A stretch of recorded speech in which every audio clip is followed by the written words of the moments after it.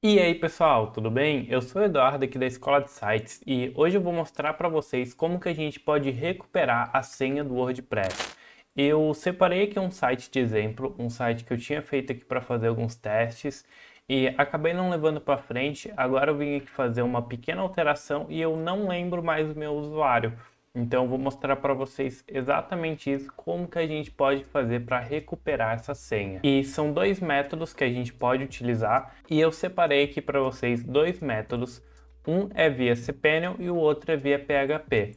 Então a gente vai testar aqui pelo primeiro método, caso não funcione para você, a gente pode fazer o via PHP também, porque daí o PHP não vai ter erro. Então primeiramente vamos acessar aqui o cPanel. Aqui para mim o cPanel eu vou acessar aqui pela própria HostGator, então eu vou vir aqui em produtos e aqui já me libera a opção do cPanel. Vou clicar aqui e ele vai carregar o painel. Dependendo aqui da sua hospedagem vai ser um pouquinho diferente, mas a maioria das hospedagens aí utilizam cPanel, então é bem tranquilo de achar esse painel. E descendo aqui para o finalzinho, na aba de ferramenta, tem aqui o instalador automático da Softaculous. Então vou clicar aqui e ele vai começar a carregar esse outro painel para a gente. A gente vai clicar aqui em instalações e aqui ele vai mostrar todas as instalações de WordPress que a gente tem disponível. E agora a gente pode ver aqui o domínio que a gente está tentando acessar. Nesse caso aqui é o stage.eduardom.com.br e aqui a gente vai seguir essa linha e vai vir aqui na opção administrador. Tá vendo que tem esse ícone aqui como se fosse de usuário? Aqui a gente vai fazer login no painel administrador do WordPress. Então vamos clicar aqui, ele vai abrir aqui uma página e vai redirecionar aqui para o nosso site. E prontinho aqui ele já está abrindo no nosso painel administrativo. Se eu voltar aqui nessa página e recarregar, vocês vão ver que já está até aparecendo aqui o menu do WordPress. Então é muito bacana que a gente já fez o login mesmo sem ter trocado a senha. Mas o importante agora é que a gente consiga trocar a senha. Então a gente vai vir aqui em usuários, perfil e aqui vai mostrar o nosso perfil de usuário. Caso você queira alterar a senha de algum outro usuário, você pode vir aqui em todos os usuários, vou até vir aqui para poder mostrar, e aqui vai ter a lista de todos. Nesse caso só tem esse usuário mesmo, então vou editar ele aqui, que seria a mesma tela aqui do perfil, e aqui embaixo tem a opção de definir nova senha. Então eu vou alterar aqui para, por exemplo, 1, 2, 3, 4, 5, 6, deixa eu confirmar o uso da senha fraca, eu vou atualizar o perfil. Prontinho, aqui já alterou a senha, então vamos vir aqui numa aba anônima e deixa eu fazer esse teste aqui para mostrar para vocês. Eu vou acessar aqui utilizando o e-mail daquele usuário, então aqui eu vou colocar o e-mail. Prontinho, e aqui a senha, deixa eu colocar aqui para visualizar, vai ser a mesma senha que a gente acabou de configurar, 1, 2, 3, 4, 5, 6, eu vou clicar aqui em acessar. E eu coloquei o e-mail errado, deixa eu alterar aqui que eu lembrei agora. Deixa eu colocar o e-mail correto, prontinho, e vamos clicar em acessar. Esperando carregar aqui um pouquinho e prontinho, a gente já conseguiu acessar aqui o painel.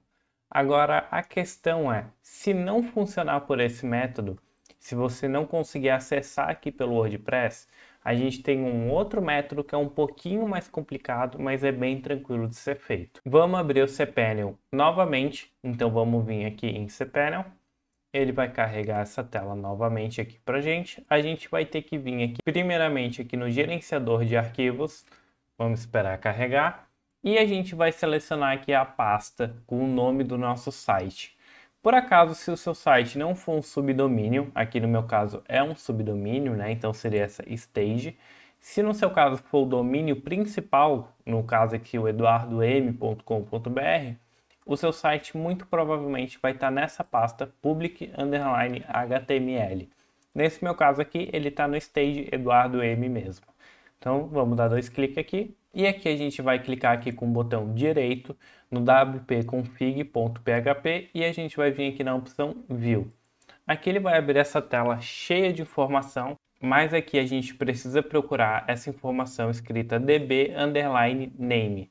A gente pode copiar ou então só mesmo visualizar aqui, mas eu vou copiar aqui para o bloco de notas para que a gente consiga lembrar disso daqui mais para frente. A gente vai precisar exatamente dessa informação. Aqui, voltando no Cepelium, a gente vai clicar em PHP MyAdmin, vai carregar aqui o site. Esse daqui é um site um pouquinho mais feio, mas é normal. E aqui ele vai ter talvez apenas um banco de dados, né, ou vários bancos de dados. Então, por isso que a gente foi lá e separou esse nomezinho para a gente conseguir encontrar o banco correto. Nesse meu caso aqui, eu só tenho esse, então vai ser mais fácil. Mas no seu caso, se tiver vários, é só procurar ali pelo nome correto. Então a gente só vai clicar aqui no mais para poder expandir e a gente vai vir aqui na opção users. Aqui esse prefixo pode estar diferente de vocês. Aqui no meu caso ele está escrito WPD8 mas aqui antes desse underline pode estar qualquer coisa, então a gente vai procurar sempre pela underline users, que essa parte não modifica, mas o que está antes do underline pode mudar. Então a gente vai procurar aqui o underline users, vamos clicar e aqui ele vai mostrar os usuários que tem aqui no site. E a gente vai pegar esse usuário aqui, que é o administrador, que a gente já sabe, né?